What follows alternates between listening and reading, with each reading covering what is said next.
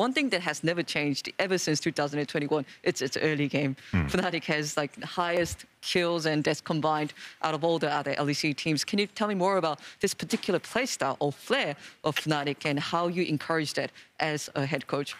I think so because the game has developed in such a way that it's so heavily team focused. I think in the lane phase, that's where you get to show your individual skill the most.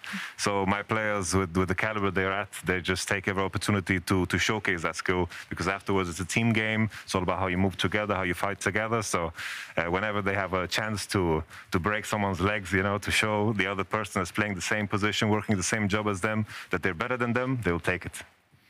Okay, thank you so much for insights. And we will look you. forward to more exciting games from Fnatic starting from Thank you. today.